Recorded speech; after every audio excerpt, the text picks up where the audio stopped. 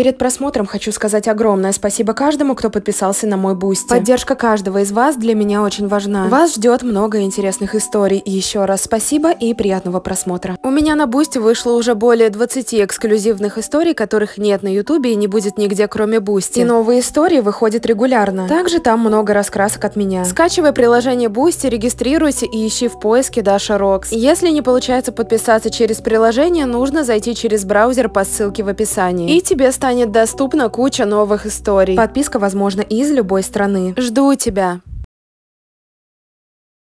Всю жизнь я провела с родителями в деревенской избе. Меня даже рожали там, а не в больнице. Раннее детство История было очень счастливым. Рокс. Родители с пеленок прививали мне любовь к родному дому и природе. Когда я стала постарше, начала порой томиться от скуки. На что родители говорили, что это от безделья. Но я им не верила, я ведь и так практически не отдыхала. Много времени уделяла урокам, да и по дому кучу работы делала. Друзей у меня тоже почти не было. Соседские дети казались очень несообразительными, как как будто намного младше. Я очень любила учиться, и меня обижали слова родителей, что от учебников толку нет, что вместо этого лучше поработать в огороде, чтобы зимой было больше припасов. Я была категорически не согласна с этим, однако старалась на них не сердиться. Повезло, что в то время у меня была очень хорошая учительница. Она постоянно меня хвалила, подбадривала и уверяла, что полученные знания обязательно пригодятся в будущем. Больше всего радости мне тогда приносили две вещи – наш старенький телевизор и книги. Я любила смотреть телевизор только когда оставалась дома одна. Мне нравилось смотреть на другую жизнь. Я приходила в восторг, видя большие города, где столько всего интересного, что порой мурашки бегут по телу. А с родителями я не смотрела телевизор по той причине, что когда показывали эти красивые города, они смеялись и называли их помойками. Над городскими людьми они тоже смеялись, называя их загазованными помойными крысами. Особенно мама любила критиковать красивые наряды людей, называя называя их мышатами в костюмчиках. Это меня всегда злило, потому что мама при этом стояла в своем рваном халате. Книги помогали мне мысленно сбежать подальше отсюда. Мне так нравилось проживать судьбы разных героев. Но, к сожалению, читать мне спокойно не давали. Только мне стоило прилечь с книгой в кровать, так меня сразу начинали просить о помощи. Я знаю, что они делают так специально. Это так злило, но и перечить было страшно. Помню, как один раз накричала, и ничем хорошим это для меня не закончилось закончилась. В тот день мама попросила о помощи, и я весь день работала с ней в огороде. А мне так хотелось почитать. В то время я читала очень интересную книгу, она была безумно захватывающей. Пока мы ухаживали за грядками, нас кусали комары, из-за них все тело очень сильно чесалось. Под конец дня меня укусил еще и большой слепень. Боль была такой сильной, что у меня потекли слезы. Увидев мои страдания, мама только махнула рукой, сказав, что я веду себя как ребенок. Наконец, когда мы закончили, я приняла холодный холодный душ, поскольку горячего у нас не было. В душе я мечтала поскорее прийти домой и почитать свою книжечку. Зайдя в избу, я увидела, как папа отрывает страницы от моей книги, разжигает ей печь. Я сразу кинулась к нему и выхватила книгу из рук. Посмотрев на нее, очень расстроилась. Он вырвал последние страницы. Меня это так обидело, что я стала на него громко кричать. Тогда он подошел ко мне, отнял книгу и кинул ее в горящую печь. Я стала кричать, что ее надо было вернуть в школьную школьную библиотеку, а то с нас возьмут штраф. Но папа ответил, что это не его проблема, что дома топить важнее, чем читать эти книжки. Я назвала его дураком. В ответ он ударил меня ладонью по щеке и пошел в мою комнату. Я, рыдая, упала на пол. Через минуту он вернулся с моими учебниками и кинул их в камин, сказав, что если школа учит так общаться с родителями, то она мне не нужна. Всю ночь я прорыдала от обиды и бессилия. Практически не поспав, было очень сложно встать утром в школу, школу, но пропускать я ее не хотела родителям на зло. Придя в школу, я отправилась к своей классной руководительнице и рассказала, что случилось. Она меня внимательно выслушала и сказала, что родители не правы. Я стала просить ее совет, что мне делать. Она предложила два варианта. Первый – обратиться в опеку, что мне сразу не понравилось. Я слышала, что у нас в детских домах очень плохо. Второй вариант – сказать библиотекарше, что потеряла книги, но тогда будут последствия. Если не заплатишь штраф, больше не разрешат брать книги, но тут я тебе постараюсь помочь. После уроков можешь оставаться в школе. Пока я проверяю тетради, ты можешь брать мои учебники и делать домашнюю работу», – предложила добрая учительница. Я поблагодарила ее. Когда вернулась домой, со мной никто не разговаривал. В итоге, через некоторое время мне самой пришлось извиниться, но на штраф, конечно, денег никто не дал. Это стало сказываться на моей учебе. Без учебников было очень трудно, я не успевала все досконально изучить. Так еще и родители злились, что я стала больше времени проводить в школе. Они хотели, чтобы я занималась преимущественно делами по дому и огороду. Первое время они кое-как мирились с этим. Я придумала отговорку, что мне надо отработать учебники. Но уже через пару месяцев их это перестало устраивать. Они начали запрещать оставаться после уроков. Тогда у меня появились первые двойки. Я не знала, как выйти из этой ситуации и соврала, что мне надо помогать учителю. Тогда я снова стала задерживаться в школе. Маму это приводило в ярость, поскольку я больше не могла помогать ей в огороде днем. И однажды родители пришли в школу и написали жалобу на мою учительницу. Мол, она заставляет меня делать всю работу за нее. Охранник подтвердил их слова, сказав, что я очень поздно выхожу из школы. Учительницы сделали строгий выговор, даже чуть не уволили. Я пыталась убедить всех, что это выдумка, но меня никто не слушал. После этого случая я больше не могла оставаться после уроков, да еще учительница стала относиться ко мне плохо. Я пыталась наладить с ней отношения, но она была очень категорично настроена, и, честно говоря, я ее понимала. А родители очень обрадовались, что свободного времени у меня стало намного больше. Они начали давать мне кучу заданий по дому. С каждым днем число двоек по разным предметам росло. Из-за этого я постоянно грустила. Мне очень не хватало книг и учебников. Моя жизнь стала превращаться в ад. Я чувствовала, что тупею. Моя мотивация учиться падала с каждым днем. К тому же родители каждый день меня убеждали, что важнее дома и огорода быть ничего не может. А кто с этим не согласен, те просто завидуют.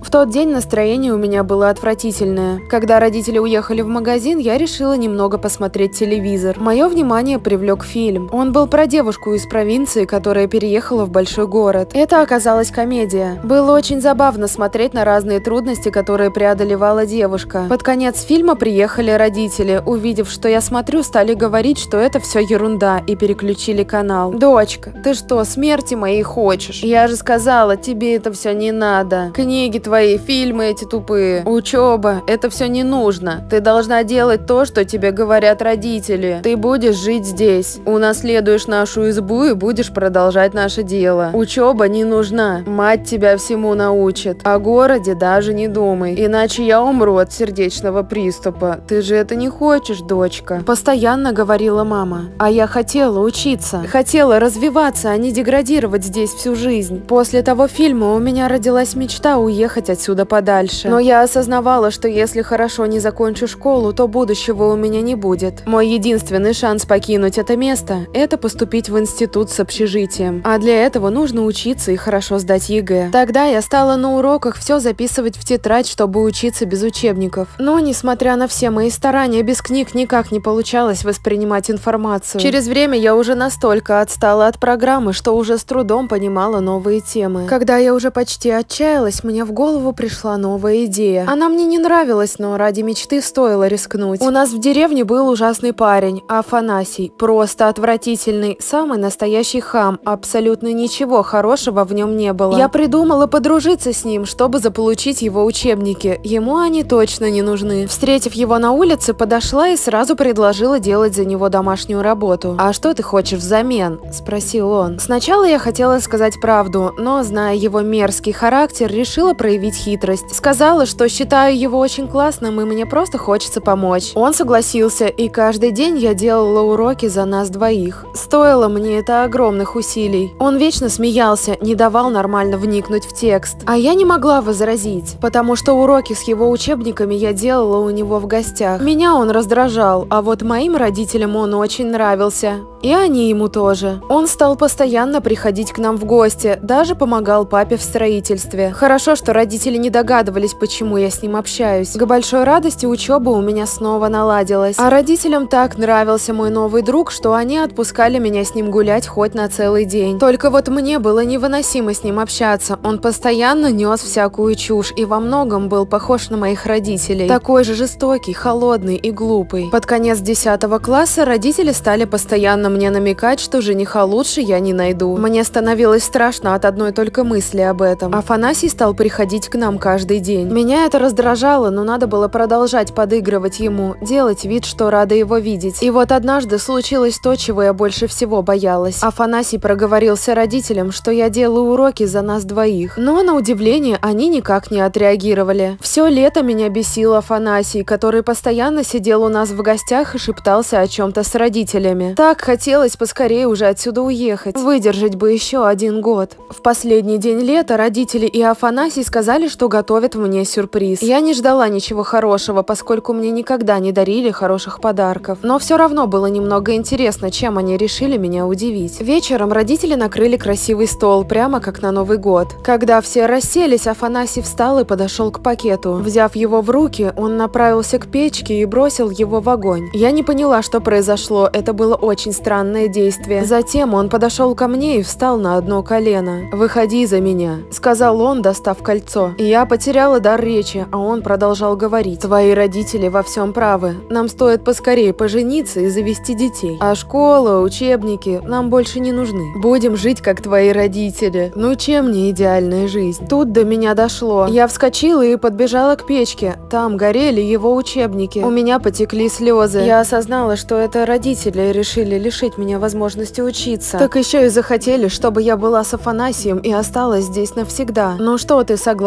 Подошел Афанасий и обнял меня. Родители ответили за меня. Конечно, она согласна. Что тут думать-то? После их слов Афанасий полез ко мне целоваться. Я сразу его оттолкнула и прокричала, как я их всех ненавижу. Родители сидели с улыбками до ушей, а Афанасий стоял растерянный. Я убежала к себе в комнату. С кухни еще долго доносились голоса родителей и Афанасия. Они его успокаивали, говорили, что я глупая и обязательно буду с ним. Уверяли его, что они сделают все для этого. После этого дня моя жизнь стала совсем невыносимой. Учеба снова скатилась до двоек. Афанасия родители приглашали каждый день. Мне их троицу видеть было невыносимо. Так еще мама специально загружала меня работой, чтобы я не сдала ЕГЭ. За год я очень многое забыла. В день итогового экзамена я очень переживала и думала, что наверняка его провалю. Но, на удивление, в билете мне все было знакомо, и когда я сдала работу, у меня даже появилась надежда, что все будет хорошо, что я уеду отсюда и начну новую жизнь. Когда пришли результаты, я прыгала от радости, у меня был очень высокий балл. Я могла уехать в любой город и продолжить учебу там. Когда родители узнали, что у меня получилось отлично сдать ЕГЭ, для них это был удар. Они злились, но уже ничего не могли поделать. Я отправила документы в разные институты. В итоге меня зачислили в университет в Питере. Я плакала от радости. Родители увидели, что я плачу и подошли ко мне с надеждой, что меня не взяли. А когда узнали, что я поступила, на их лицах была только злоба. Мама несколько раз ударила меня полотенцем, которое она держала в руках. Мне эта выходка была обидна, но я знала, что скоро это закончится, и я уеду отсюда. Пока я собирала вещи, мама на меня орала и называла неблагодарной. В день отъезда папа даже не вышел со мной попрощаться. Мама пыталась меня остановить, но я точно знала, что больше здесь не выдержу. Когда я обняла ее на прощание, она шепнула мне на ухо. «Дочка, ты что, моей смерти хочешь? Мне плохо, у меня давление, сердце разрывается. Нам же тут так хорошо было. Почему ты не ценишь все, что мы для тебя сделали? Знай, дочка, если ты сейчас уедешь,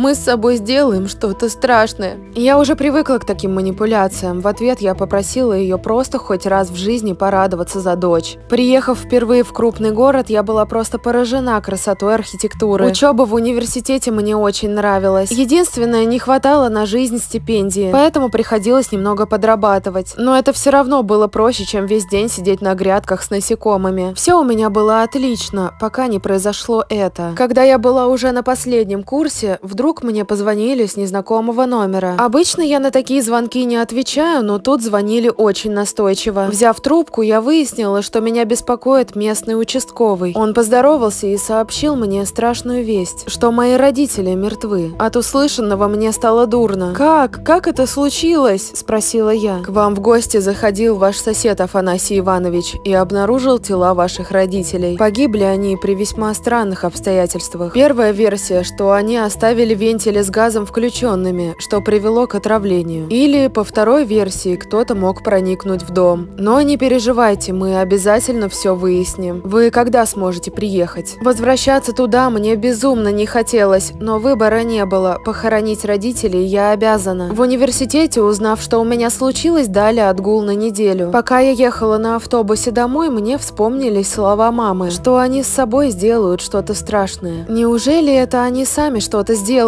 Или это был Афанасий? Чем ближе я подъезжала к деревне, тем страшнее мне становилось. Приехав на место, я ощутила приступ острой паники. Вспоминались бесконечные обиды, и особенно меня пугала мысль, что я могла провести тут всю свою жизнь. При входе в дом у меня было такое чувство, что вот-вот сейчас выйдут родители и начнут снова меня во всем винить. Обойдя все комнаты, я удивилась, что с моего отъезда ничего не изменилось. Тем временем на улице уже стало темнеть, и, честно говоря, мне было очень страшно находиться одной в доме, зная, что тут умерли мои родители, которые ненавидели меня за то, что уехала от них в большой город. Поужинав, я стала думать, в чем их хоронить. Вдруг раздался громкий звук в родительской комнате. Я очень напугалась и даже подскочила. Мне так хотелось поскорее отсюда уехать. Взяв большой нож, я на цыпочках прокралась в комнату родителей. Открыв дверь и включив свет, я увидела, что у шкафа открыта дверь, а на полу лежат любимые костюмы папы и мамы. Увиденное меня до жути напугало. Я закрыла дверь и пошла обратно к себе в комнату. Мне было очень страшно. Я молила своих родителей, чтобы они меня не пугали. Тут на улице послышались шаги, а затем раздался стук в дверь. Я вышла из комнаты и направилась к входной двери. «Кто там?» – спросила я испуганным голосом. «Это я, Афанасий. Открывай». Я его боялась в данный момент до ужаса. Вдруг это он виноват в смерти родителей, а теперь пришел убить меня. Тут Афанасий дернул за ручку, и дверь открылась. Черт, я же ее закрывала. Передо мной стоял огромный двухметровый мужик. Это был уже не тот хамоватый мальчуган. Что мне делать? Нож я забыла у себя в комнате. И как я могла забыть закрыть этот чертов замок? Ну что, привет, подруга. Чего так дверь долго открываешь? От испуга я решила ему подыграть, притвориться, что рада встрече. Мне пришлось пригласить Афанасия в дом и заварить нам чай. Он мне в это время рассказывал, как мой отъезд погубил родителей,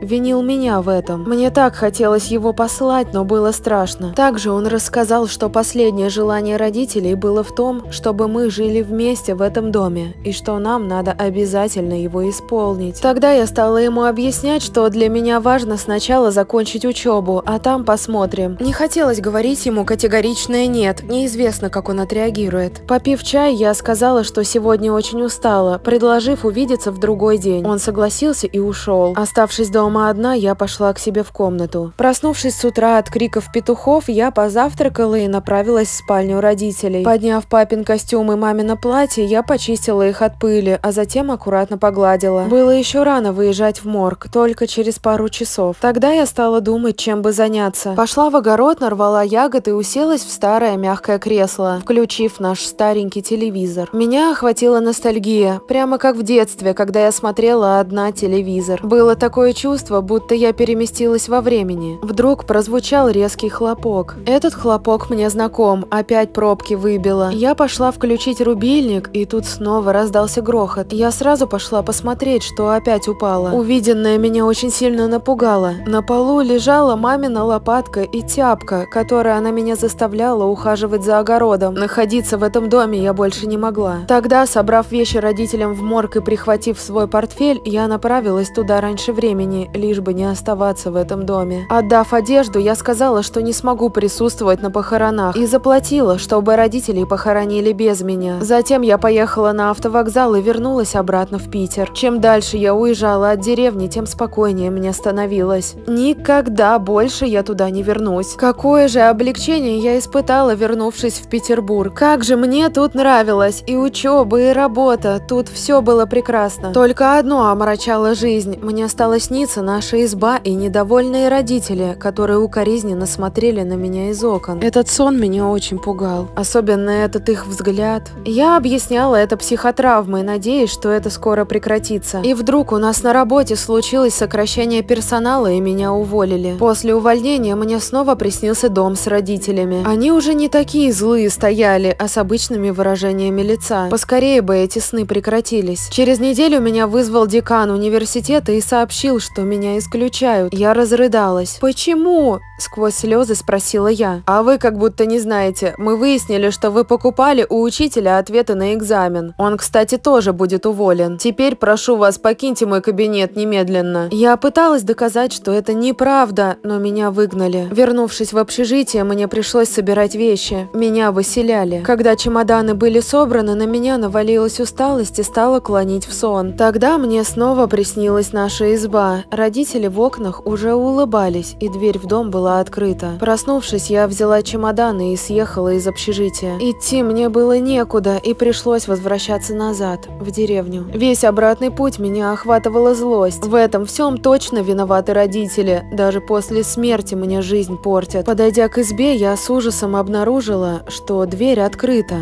прямо как во сне. После возвращения моя жизнь снова стала адом. Все было как раньше. В доме постоянно происходили паранормальные вещи. То грабли упадут со скрежетом, и пока я не очищу территорию, страшные звуки не прекратятся. То лопата упадет, и пока я не перекопаю грядки, шум не проходит. Так происходило день за днем. Мне приходилось делать работу за двоих. Я очень старалась в надежде, что это прекратится, но родители как будто специально меня постоянно пугали. Странности прекращались только, когда приходил Афанасий, которого я терпеть не могла. Мне было понятно, чего они хотят, но я бы не вынесла такой жизни. Так они изводили меня пару месяцев, мне уже не хотелось жить. Такое отчаяние, я думаю, мало кто испытывал в своей жизни. Порой мне даже казалось, что ад не так страшен, как моя жизнь в этом проклятом доме. Издевательства постоянно росли, мне вообще не давали отдыхать. И однажды у меня случился нервный срыв. Я больше не могла это терпеть, поэтому пошла на улицу и начала поливать дом бензином, после чего я его подожгла. И, как сейчас помню, стала плясать вокруг огня. Я танцевала и смеялась, и мне было все равно на последствия. Однако, когда приехали пожарные, я сделала вид, что ни при чем. Идти мне было некуда, поэтому пришлось ночевать в сарае. Было очень страшно. Я думала, что сегодня ночью меня убьют родители. Но, на удивление, ничего паранормального не происходило. На следующий день мне позвонили из университета и сказали, что произошла чудовищная ошибка. Меня перепутали с другой девочкой. Декан разрешил мне вернуться к учебе. Мою радость в тот момент было сложно описать. А через некоторое время мне предложили другую интересную работу. В общем, жизнь наладилась, и плохие сны мне больше не снятся.